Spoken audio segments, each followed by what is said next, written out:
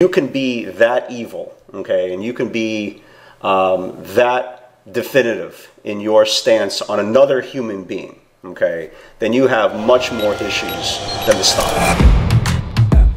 Welcome to Access a Trader, the number one community for those who are committed to taking control of their trading in order to achieve success, profitability, and longevity. Thank you for joining us. Here's Dan Shapiro to help you find your edge master your process, and own your future. Hey guys, good morning everybody. Welcome to uh, another edition of uh, the AccessATrader.com weekend update show. Uh, hope everybody is doing great. Um, a lot of stuff going on, obviously. Um, look, I want to I, I want to make this perfectly clear. Um, obviously, the big news over over the weekend, and obviously from Thursday night into Friday, was uh, the COVID news, right? The COVID news for uh, the President of the United States. And uh, look, I, I have, I am in belief that, I, I always believe that no matter who's in office, it doesn't make a difference. Democrat, Republican, you have to respect the office, okay? Uh, no matter how much you like or hate or disagree, we're all human beings, right? We're all born exactly the same way. We're all built uh, pretty much the same way. Our DNA, our blood, everybody's the same. Okay, so it doesn't make a difference if you love the president, if you hate the president, if you're wishing the demise on another human being. Let me say this as, as nicely as possible. You're a world class dickhead, right? That's the, that's the nicest way I could possibly say it. There's after death, there's no coming back. Okay, I don't care what your beliefs are. As far as I understand, there is no coming back. So the idea that people can wish the ultimate demise on another human being is absolutely insane. Okay, and if you are that type of human being, number one, I'm not messing with you, and number two, you really have to find some serious purpose in your life. You really do. Uh, because again, if you can be that evil, okay, and you can be um, that definitive in your stance on another human being, okay, then you have much more issues than the stock market. Okay, I think I think that's the best way of saying it. Um, so hopefully everybody who's who's been affected with COVID, with diabetes, with HIV, with any any with with cancer, with any type of uh, fight for their lives, we should be saying prayers for them. Okay, no matter who they are, saying prayers for them, even if you don't know them um, and try again to be a normal human being. Again, life is very, very hard. Trading is very, very hard. But at least if you live your life a little bit righteous, nobody's saying everybody's perfect and everybody's squeaky clean, but at least if you can have a little bit, a little bit, right, just a tiny morsel of sympathy and empathy and, and all that good stuff to another human being, you'll find your life to be a little bit easier on a day-to-day basis. So again, just kind of my little thought process here uh, kind of wanted to just say because I've seen so many negative things uh, all you know for the last couple of days. It's just it's embarrassing that this is where you know this is where we are uh, as a society. So hopefully, uh, everybody who's fighting uh, any type of disease or any type of illness, may God be uh, in your corner. So let's talk about the market. So obviously, a funny thing came into the you know came alongside this masterful rally that we were having uh, three, four days in a row, we, you know, we reclaimed supply, we built, we had some really good aggressive value uh, to the upside. Uh, Thursday night into Friday session was setting up for a phenomenal, an absolute phenomenal uh, measured potential run, okay? And obviously in this type of environment, and we say this all the time, expect the unexpected, okay? You, you really have to. And, you know, now we have so much uncertainty uh, in life, right? We have COVID news. We have uh, an election that is uh, 30 days away, right? Basically a month away. Uh, we have all these different uncertainties. Uh, the idea that you can go into the stock market every single day uh, with eyes wide shut is absolutely asinine. And I, I think we've been discussing this for a very, very long time that number one, this market has ridiculous amounts of range, okay?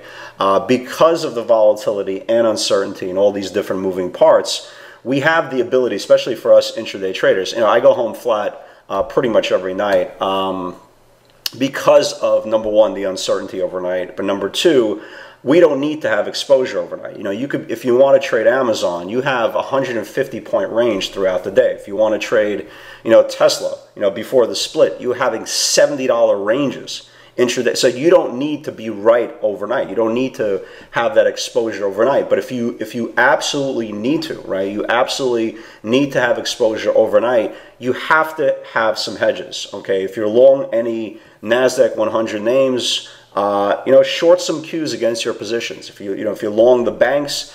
Take some spies against your position. Again, you need something, number one, to combat uh, the volatility, this rapid um, and rabid news cycle that we're getting, uh, all this disease talk, all this spread, uh, all this election talk, you literally can wake up, you know, Thursday, you know, Thursday, Friday night, uh, Friday morning, thinking, "Where, my God, the future's going to gap up," and you turn around, and you see, hey, Donald Trump got uh, COVID, his wife got COVID, a whole bunch of uh, you know GOP members got COVID, and the next thing you know, you're staring you know, you're staring at a 500 point decline pre-market.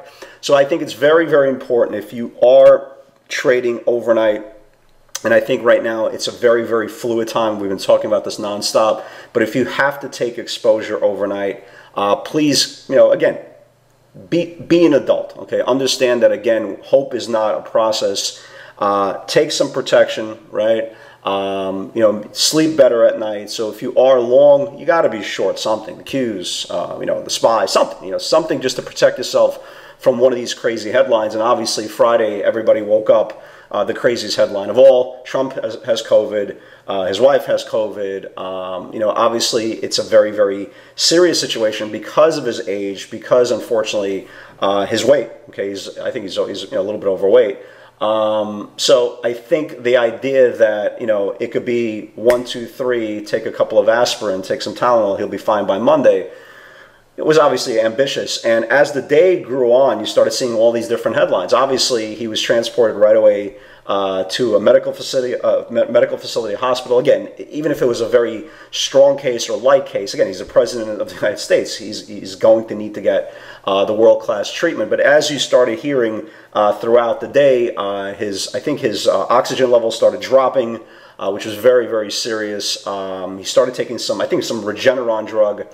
Um, and as of last night, I, I, didn't have a chance to read anything in depth, but as of last night, I believe that he his he had some fever, he had some temperature, uh, and he was doing a little bit better. That's as of last night. Again, it's a little bit early in the morning. This today, I haven't had a chance to to read everything, but I, I think you know this is a day or this is a, a, a, Sunday ahead of a new week. That yes, I you know I have a game plan, right? I have an opinion what should happen but depending on his progress, okay, you know, we could legitimately see futures come, you know, six o'clock this evening.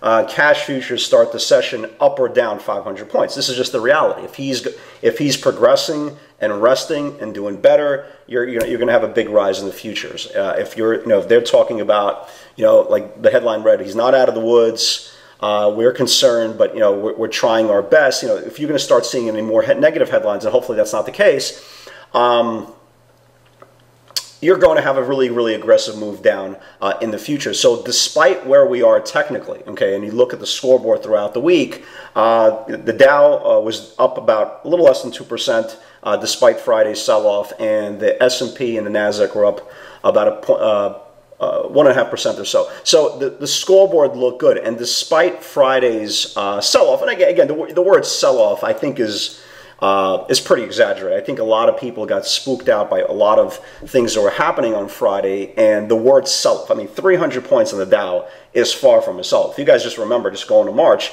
we had several 3,000 point declines, a whole bunch of 2,000 point declines. So the idea that 300 point decline in the Dow was a sell-off let's kind of not, you know, let, let's let's let's kind of reserve that. Um, you know, reserve that talk for something much more uh, exaggerated, like we saw in March. So I, I, think where we are technically is fine, despite the pullback, uh, especially in the cues. You can see here we are still above. We you know we held we held this rising 20 right, which is a bullish thing.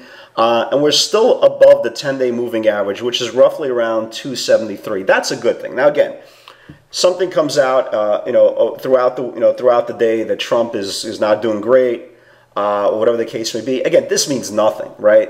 We could open down at 268. We could open, you know, down at 265, right? Or if he's doing great, we could open up at 283. So the idea of the technical analysis just for today, right? Just literally for today, because of this ever-changing situation with the president's health, I think is almost irrelevant. I, I think what is relevant is kind of putting together a game plan for Monday morning, uh, regardless if the futures gap up 500 points or gap down 500 points. Obviously, uh, if you look at Friday's value before the news came out, there was a lot of names that I really liked, and they were all COVID names. Again, we talked about uh, if you if you go back to uh, Thursday's video, right?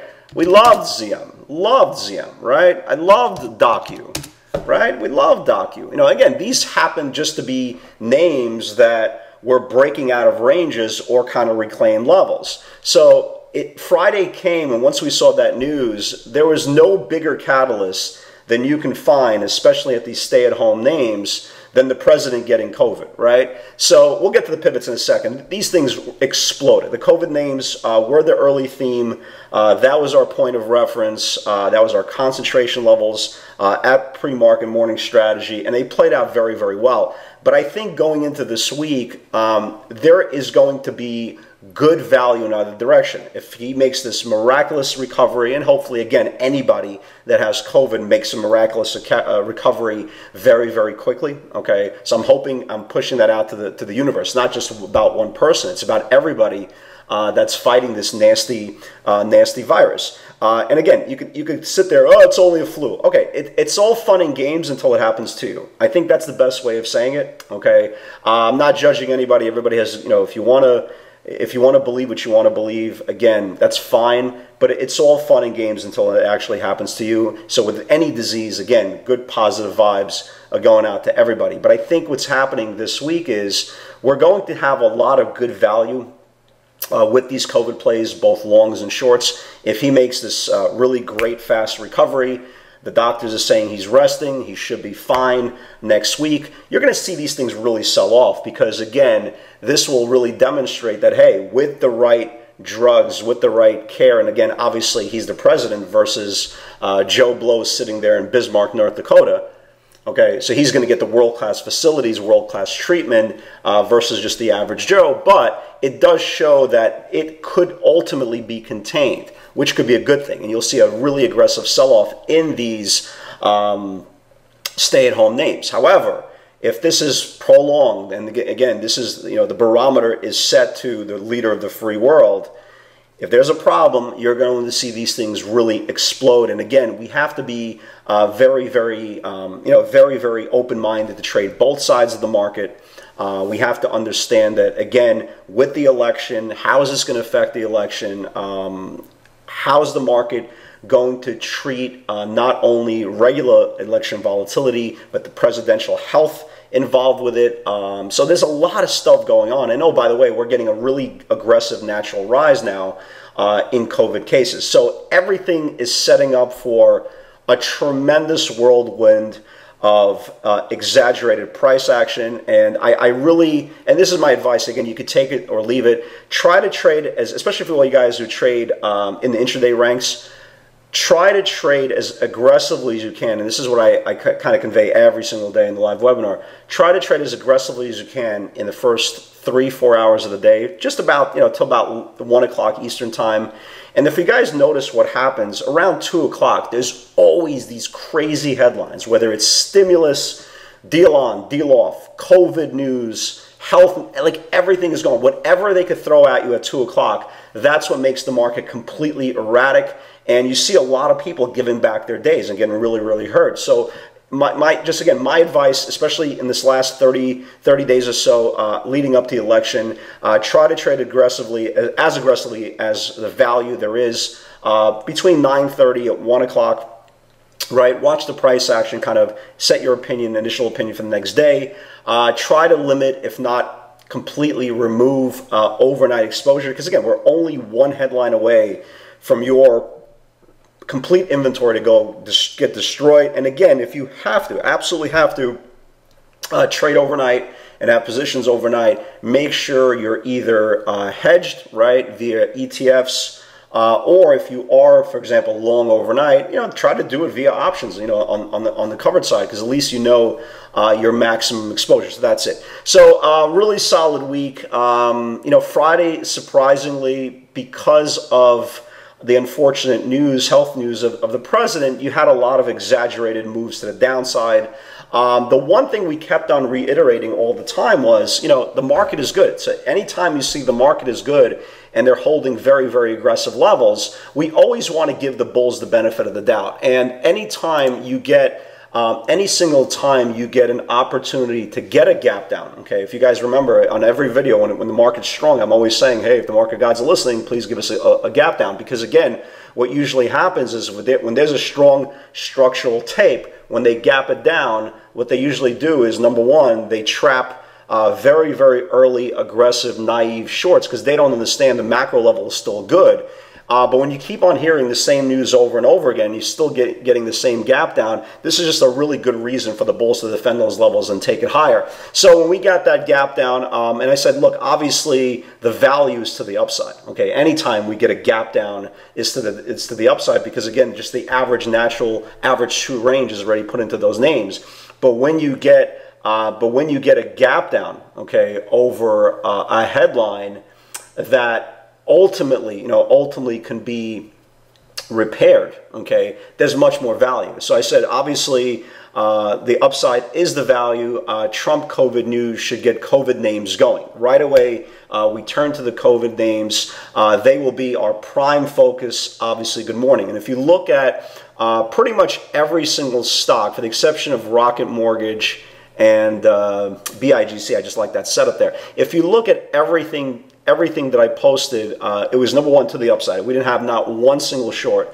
Uh, everything was to the upside. Everything was related to the stay-at-home theme, and it worked out very, very well. Um, ZM, obviously, we talked about it uh, the night before. Uh, it reclaimed that uh, two, excuse me, they reclaimed that 482 level, and I said, look, any build above 484, uh, 484, that was the previous day's high, could get very aggressive based on the five-day confirmation. And oh, by the way, you got the greatest catalyst of all, the unfortunate uh, news from from uh, from the president's health, and it, it went absolutely nuts. I mean, and, and that's the whole point, guys. Why you need to do your research. You have to have an opinion overnight.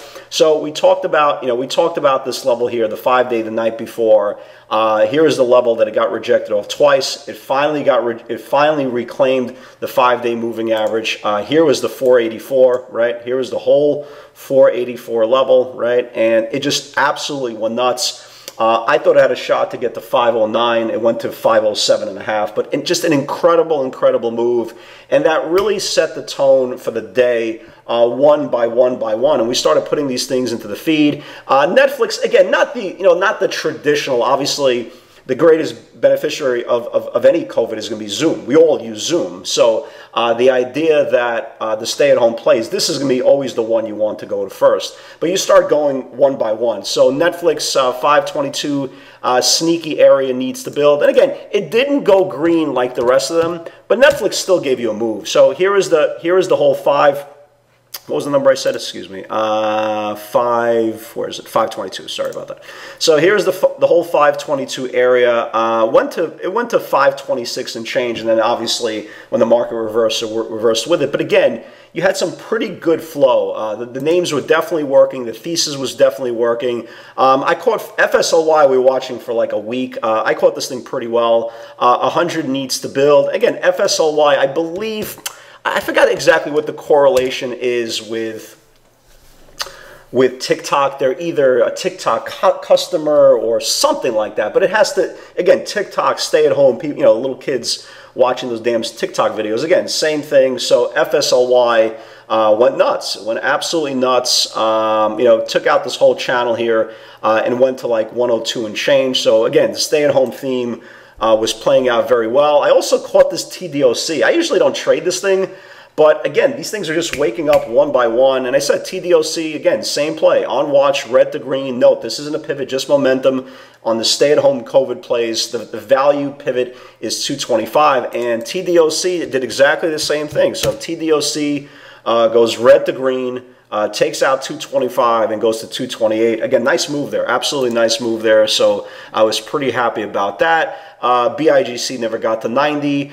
Uh, Roku was, was kind of odd. So Roku takes out the 201, 52 week high. And again, you can make an argument this is a stay at home play, right? So it takes out 201 and it goes to 203 and change. But it wasn't like one of those gangbuster 52 week high breakouts. It was very methodical. Um, I personally didn't take this one. I just didn't. I, I, didn't like the volume, and although it went up like two two and a half dollars.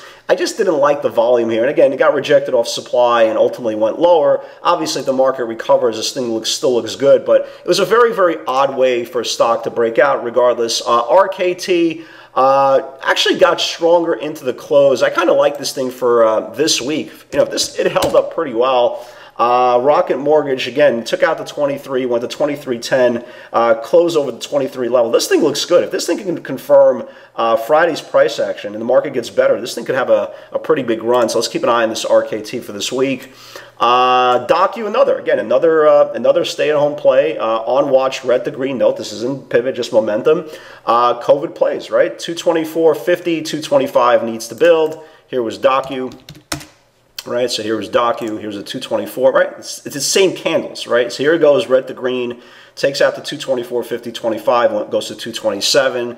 Uh, and they were just working one after another after another. Uh, low, big move here. They guided higher the, pre, uh, the previous night. Uh, 282 rejected twice, needs to build for more. Experienced traders only. Obviously, anytime the market's down 500 points, uh, not every single trade is right for everybody. 282 rejected twice. Uh, 285.50 was last night's highs for another point of reference. And Twilio went absolutely nuts. Congratulations for all you guys uh, who caught Twilio. So here's the two candles right here, 282, right? 282 are rejected twice. Here's 85 and a half the after hours high. And this thing just absolutely went nuts, went to uh, 295. So huge move there. Uh, Overstock never got to 82. I still, you know, I still like Overstock for this week. Um, again, you can also make a case. This is a relative stay-at-home play, right? We had a pretty aggressive pivot uh, the previous day on it got rejected off the 50. Uh, let's keep an eye on it for the next couple of days. If it can reclaim the 50, um, I think there's more upside there, so we'll definitely watch it. Uh, Chewy, I'm very surprised, didn't go red to green. This is another uh, stay-at-home play, so we're definitely watching this thing uh, this week in case it wakes up. So again, I think that's the best way of saying it. Oh my God, when you get a $15 candle in like in minutes on ZM, I think an OMG, right?